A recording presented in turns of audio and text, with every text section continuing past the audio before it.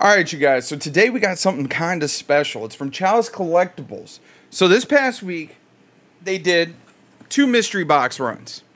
One being a hundred dollar signed mystery box, where you get two signed Funko Pops per box. You have no idea what it is. Now, mind you, during that run, I was like, usually they'll release like the top hits from the box. They didn't put anything out there when it comes to what potentially could be hits in said box. The other one was a chase box. I didn't go for the chase box. I think that was like 100 boxes, three chases per box. And I was like, that's not really worth it to me. I want to see what kind of signatures they have in this box. So don't worry, guys. Down below, I'm going to tag it and I'm going to put when I actually start opening the box. But before we get into opening the box, I do kind of want to talk about signed mystery, I mean, signed Funko Pops, period. End of story. Why? Because I think they are an awesome, not just an investment, but they are just an awesome thing to have on your shelf to show off, right? So I have quite a few here. I'm going to show you three I got from Toy Temple, I believe it was. One I got off of an auction house, and then two more that are kind of, well, one's a massive grail for me when it comes to signed Funko Pop. So the first one I'm going to show off right here is the uh, is the signed Ichigo, and uh, I can't remember his voice actor, but most of these pops, right, they come with certificate of authentication, authenticity, right? And not just that, but on the window, they're going to show, all right, there it is, it's authentic, right? So we got a sign Ichigo. I got another one. I believe this one I actually got from, I think this was Toy Temple as well, from one of their mystery box, Hunter Hunter Hisako or however you pronounce his name. I'm not a Hunter Hunter fan. I think it's highly overrated. I mean, like I said, they're awesome to actually put up on your shelf and show off. Another one I have is actually a signed Gojo.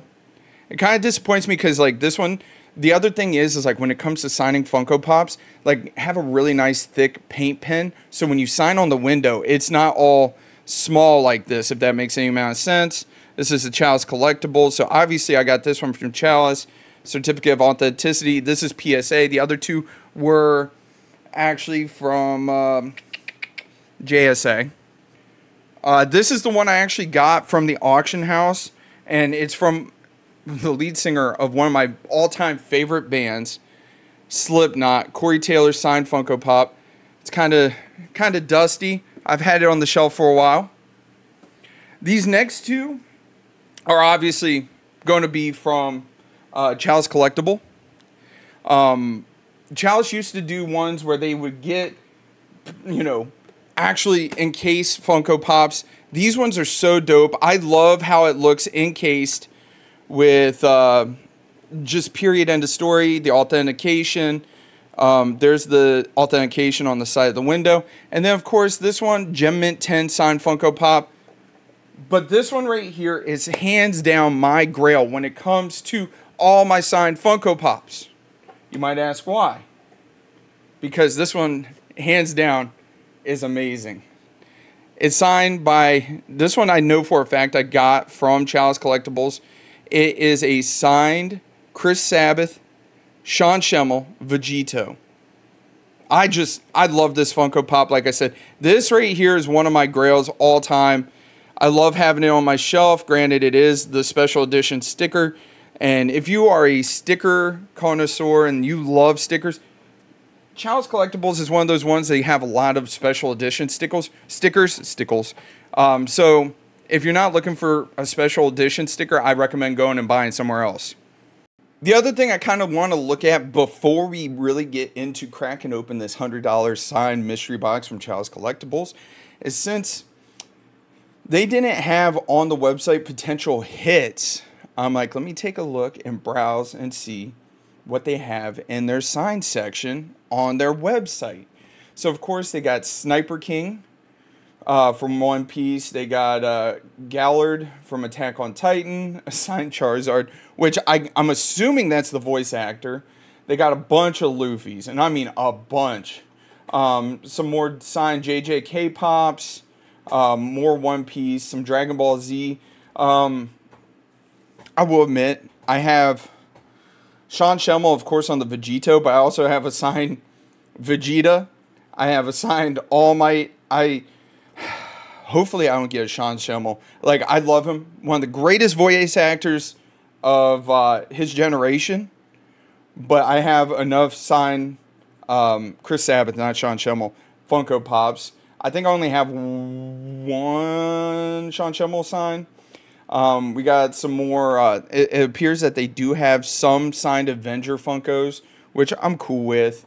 Um, but I understand why they did away with the PSA authentication Funko Pops because if you're looking, they $160, $120, $175, $300, $300, where you go to the ones that are just in soft protectors, they're ranging, you know, if it isn't Chris Hemsworth or Chris Pratt, um, you're looking at about between what is it, seventy five to hundred dollars. You got the sixty five dollar signed Charizard there. All right, I know you guys are probably tired of me yapping. Like I said, I just wanted to go over some stuff. So let's crack open this bad boy. This was hundred dollars. There was, like I, I think there was hundred boxes in total made. So let's take a look and see what we got in this signed Funko Pop mystery uh, box from Chalice Collectibles. All right, so I'm gonna grab the first one. I have no idea which ones these are. So let's take a look. Ooh, so I guess my assumption was correct when it came to looking at their website. They do have some of the ones from their website on here. I guess they're not moving that fast. Um, there is the PSA authentication on the top. This one actually looks like it's in really good shape. I know uh, when I was talking with, I believe it was Toy Temple, um, the Ichigo I got, there was some damage on it, and they can't um, guarantee gem mint, you know, quality, which makes sense. And then, woo, Sniper King. So if you if you go back, this one was actually a hundred dollar signed Funko Pop. Um, but that one real nice. Sniper King signed one piece. Chase variant on top of that from Chalice Collectibles. Who knows? I might actually take uh, this one to. There's no certificate on this one. What? Is it in the box?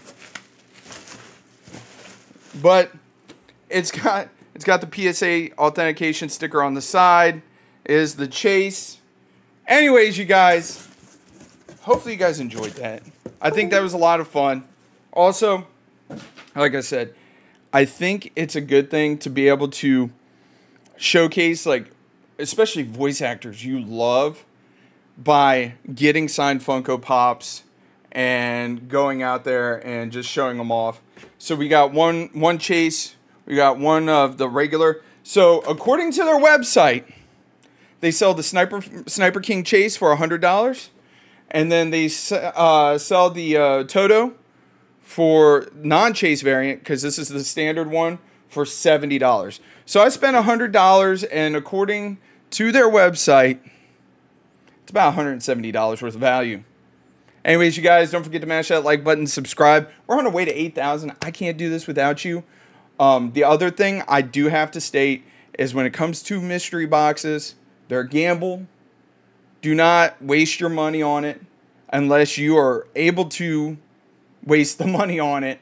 One. Two, I did see a comment of somebody saying that they want to, like, they just got into Funko Pops and that they want to know, like, the best places for mystery boxes.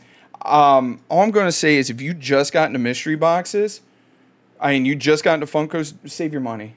Go out and buy the Funko Pops you want. Do not spend the money on mystery boxes. Anyways, you guys, take it easy, and I'll catch you later.